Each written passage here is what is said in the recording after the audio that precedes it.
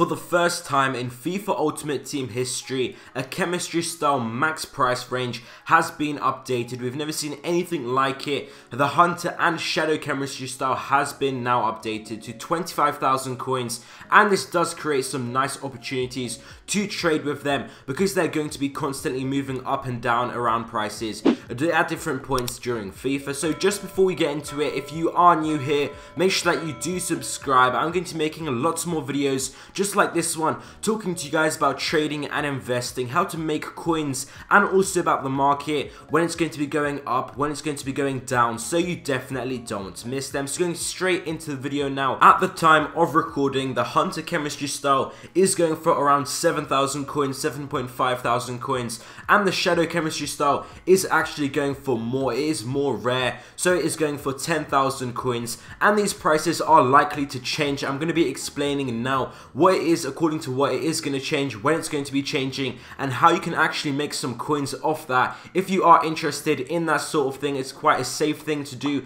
safe way to make coins. And also, if you do have a lower budget or maybe kind of like medium budget, this is definitely a great way to increase your coin total. So, first of all, sniping shadow chemistry styles for around 8,000 coins because some people might get confused. They might think the hunter and shadow chemistry style are going for the same price because when they were extinct at 5,000 coins. Of course, that is technically, they were going for the same max price range. So people thought they were pretty much the same value. But the Shadow Chemistry style is actually more rare. It's going for more coins. So if some people just think, list them up for the same price as a Hunter for around 7 to 8,000 coins and you pick that up, that is already instantly a nice 2,000 coins. So you definitely want to be doing that sort of thing. You never know, you might also pick some up for a lot cheaper. Maybe some people still think they're going for maximum of 5,000 coins, something like that. You never know these days. So definitely see how it goes. Maybe you find a specific hour every week or something like that where it works quite well and you can just keep doing that. And it's definitely not a bad way, like I did already mention, if you're on a lower or medium budget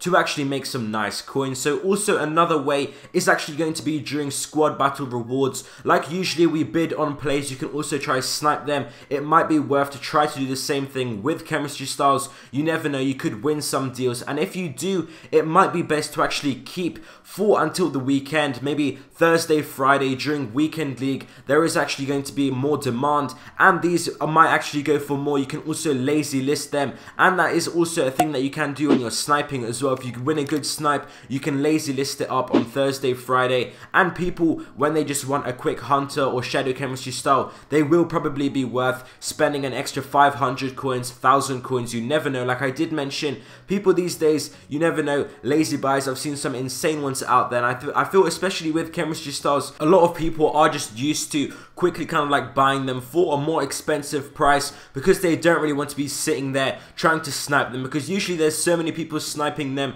All of the kind of like cheaper ones do get bought instantly and it is a bit annoying takes some time. So people are just used to quickly buying them for a more expensive price. So that is definitely a good thing to remember. Thursday Friday list these chemistry styles up if you are going to be trading with them. They should go for some more coins then kind of like in the middle of the week on a Monday or a Tuesday. So also now when these chemistry styles are actually going to go lower in price during promos, they should actually go down in price. So for example, we do have Black Friday coming up. Lightning rounds, there's going to be some really nice ones listed up possibly very cheap because people just want to go quickly onto the next pack. And also, there's a lot of confusion, I think, about how much Chem Styles and Shadow Chemistry Styles are actually going for. Because if you actually didn't check before, you might not know the current price of them. Because before we just knew they're going for 5,000 coins at their max price range. But now, it is a bit harder to actually actually find. It's not as publicly known information as before when we all knew they were just going for 5,000 coins. So you should be able to trade with these cards